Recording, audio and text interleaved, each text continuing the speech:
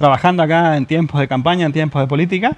Como bien decís, somos eh, candidatos concejales en la lista 653E, la lista de Evolución Resistencia, que adhiere a la candidatura de Aida Ayala como intendente de Resistencia y Juan Carlos Polini y Delfina Beirabé como fórmula para la gobernación y vicegobernación del Chaco. En eso estamos. ¿Cómo están trabajando eh, en esto que falta muy poco, ¿no? Camino hace primarias. Eh, se trabajó mucho en la parte organizativa de, antes del cierre de la elección, esto lo que sea la documentación de los precandidatos, los requisitos formales que exigía la Junta. Posteriormente a la oficialización de lo que fue toda la parte formal de la justicia electoral y de la Junta Electoral Partidaria, ya empezamos a hacer las actividades propias en territorio.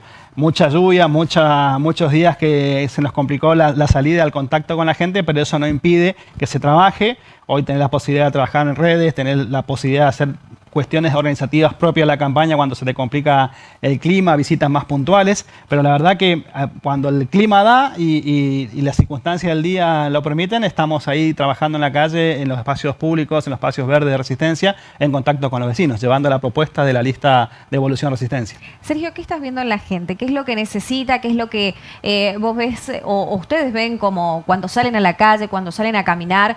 ¿Qué es lo que más les preocupa?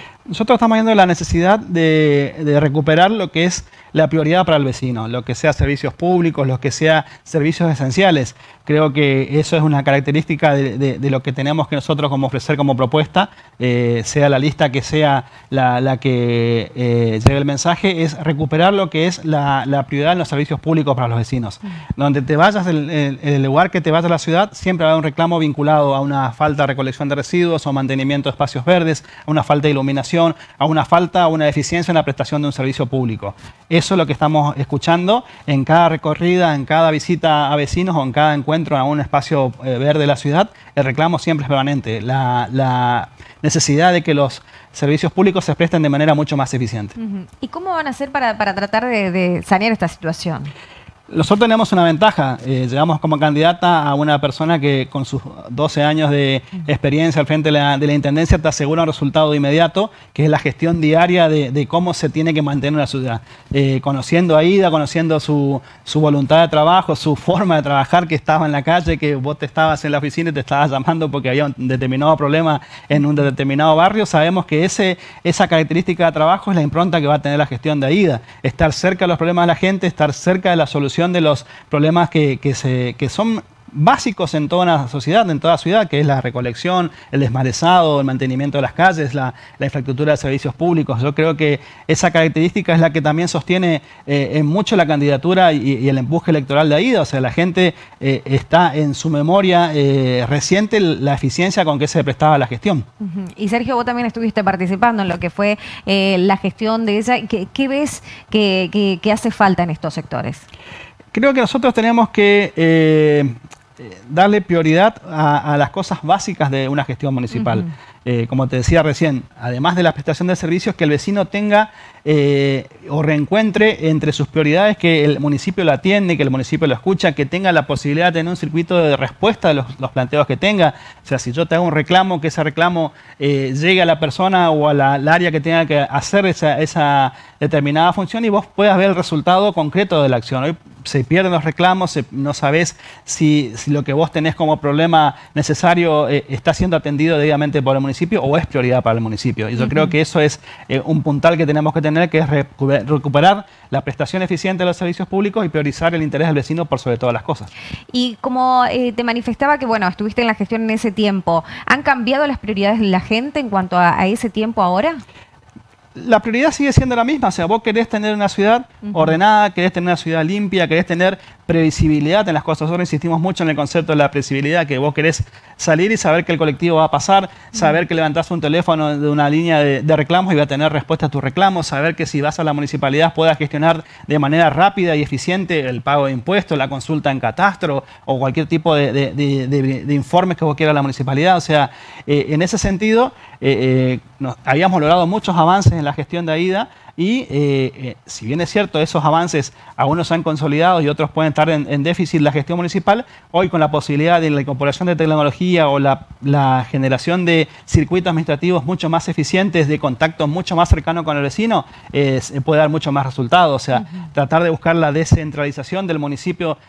hoy tenemos la zona norte y la zona sur son gigantescas, son ciudades en, ya, de, ya de resistencia como área metropolitana, lindante con otras localidades. Bueno, esa es una de las diferencias. Sí, eso es eh, lo que ha crecido Resistencia. Eh, es impresionante. El otro día estuvimos allá en la zona de, la, parte de atrás, la zona norte del Hiper, lo que es el barrio judicial, lo que es el MAPIC, lo que es la Chacra 24. Tenés eh, cuadras y cuadras de viviendas, ya sea por procrear o por barrios construidos Instituto de Vivienda, en la extensión, o te vas en la zona sur, en, la parte de la zona oeste, allá cerca de la planta amarilla, lo que antes era únicamente el barrio que estaba de Tito López. Hoy por hoy es todo, todo o barrios o construcciones que necesitan la infraestructura y la prestación de servicios básicos. Exactamente. Eh, ¿Por dónde están recorriendo o cuáles son los lugares que, se están focalizando para seguir la campaña? La verdad que en toda la ciudad llega el mensaje de lo que es Juntos por el Cambio. Tenemos eh, hoy por hoy, si bien una competencia eh, paso entre espacios distintos de, Juntos por el Cambio, de la posibilidad que la, presencia, como decíamos, del, del sello Juntos por el Cambio esté en toda la ciudad. Nosotros focalizamos el contacto a los vecinos en en los espacios públicos, en los espacios verdes, la peatonal, el Parque de la Democracia, el Tiro Federal, las plazas, el aeropuerto, eh, la, Plaza Ejército Argentino, la, eh, Plaza eh, del Paseo Sur. La verdad, buscamos en, ese, en esos ámbitos que, la ciudad demanda y que ha recuperado post pandemia actividades sociales y recreativas, encontramos mucho contacto con los vecinos y más allá de, de las visitas personalizadas, por así decirlo, o las reuniones puntuales con grupos de que quieren saber y conocer otras propuestas. ¿Tiene eh, ya definido, en el caso de que podría llegar al Consejo, ¿tiene definido algún proyecto principal eh, para poder iniciar su gestión? Creo que los proyectos que nosotros impulsemos desde el Consejo van a tener que apuntalar a la gestión municipal, porque justamente seremos oficialismo en la conducción, y darle prioridad a aquellas creación de circuitos administrativos o de aplicaciones tecnológicas que hagan más fácil la vida del vecino. O sea, si vos tenés la, posibilidad de generar eh, una aplicación donde puedas imprimir tu estado de cuenta, donde puedas conocer qué capacidad de, servicios tiene el municipio hoy, que dónde se hace recolección, dónde se hace desmalezado, dónde se hace un operativo de castración, darle herramientas al Ejecutivo Municipal para que tengas acceso a la tecnología. Eso requiere inversión en equipamiento, en software, en, máquinas para que una prestación eh, eficiente de, la comunicación en, la tecnología con el municipio. Creo que por ahí tiene que apuntalar la gestión, además de dotar y, darle, darle respuesta y darle un marco a todas las instituciones que se han venido creando de la Carta Orgánica. El Defensor del Pueblo, el Defensor de Niños y, Niñas Adolescentes, el Juzgado Ambiental.